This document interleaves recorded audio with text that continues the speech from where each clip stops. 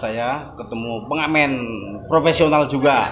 Dia sudah malang melintang di dunia jalanan ya seperti ini ya, Mas Gondrong yang biasa ngetem di terminal. Karena terminal sekarang lagi ada renovasi ya, eh, pembangunan untuk terminal yang akan lebih baru. Jadi dia pun kadang di lampu merah, kadang kalau sore dia ada di terminal ini. Tapi betul-betul luar biasa pengamen yang gondrong, Mas Gondrong ini ya, yang sudah bertahun-tahun uh, dia menekuni uh, ya uh, menekuni kerjaan dia yang sangat luar biasa. Tapi dia mengalunkan lagu-lagu tentang gimana Mas? Lagu apa? Ya, itu tentang ya orang kehidupan atau uh, tentang Indonesia merdekanya gitu. Oke. Okay. saya pernah alhamdulillah pernah festival di Surabaya saya kalah mas Okay. Di Kebumen saya juara dua. Oke. Okay. Di Purwokerto alhamdulillah saya juara satu. Oke. Okay. Nah itu pemirsa apa yang dikatakan Mas Gondrong ya pengamen di Terminal Bus Kebumen. Yuk kita ikuti ya seperti apa lagu-lagu dari Mas Gondrong ini.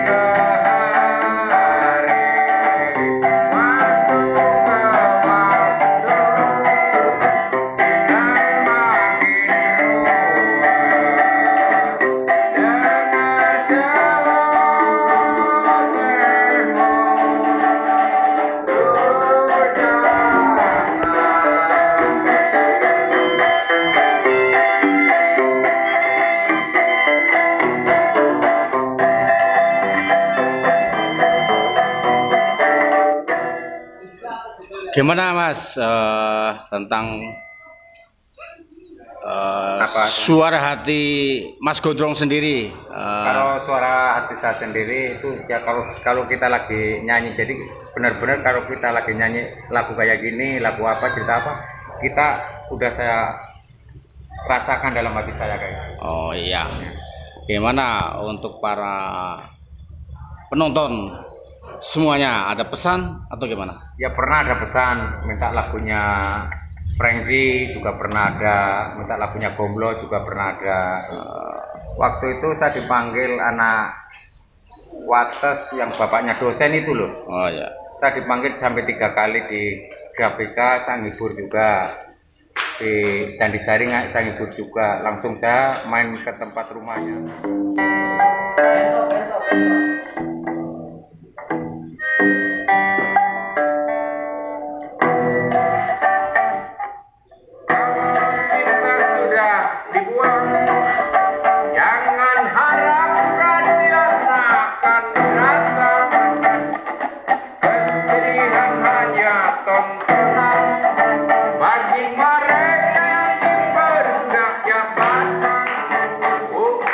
Thank you.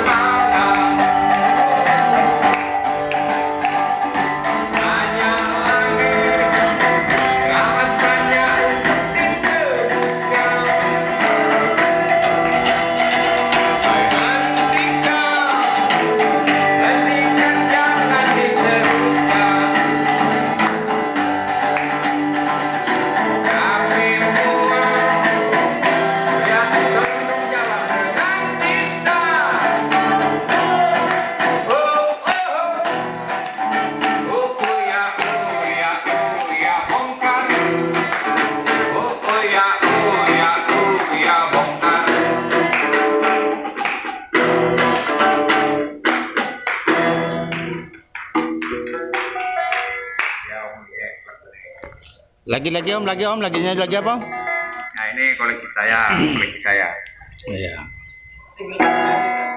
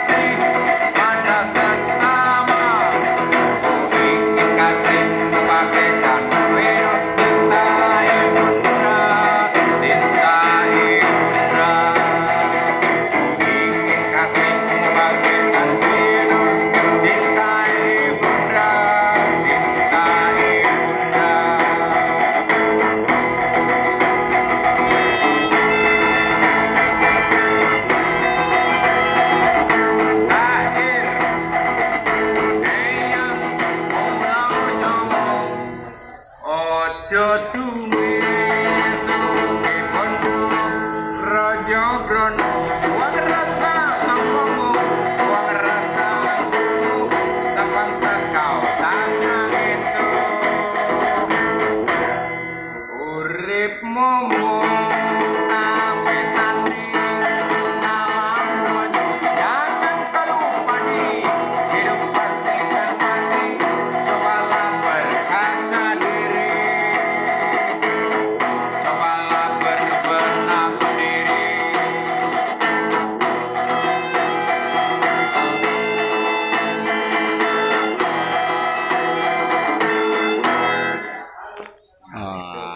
ini biasa mangkal di mana mas? kalau saya mangkalnya biasanya kalau sore di terminal Hmm. terminal lagi dibongkar ya gini kan bingung Ah, bis lagi pulang nggak ada yang berhenti kan nggak ada yang jalan kita Iya. ngamennya di lampu merah lampu merah ya. Ya masalahnya kita kalau nggak ngamen kita punya tanggung jawab gimana. Ntar kalau kita nggak ngamen akhirnya timbulnya di jalan yang nggak benar kan nggak baik lah. Intinya Oke. dosa lah. Misalnya nyolong kan dosa. itu. Oke. Masnya sekalipun dosa nggak bicara mas ini. Ah. Tapi besok di akhiratnya mas. Hmm. Nah, ya ya memang kayak gitu. Oke oke oke. Apalagi kalau kita orang Islam ini mungkin semua orang Islam dari orang Islam kan dari ilmu agamanya udah bagus apalagi seperti mas-mas ini bapak ini udah agama Islamnya udah pola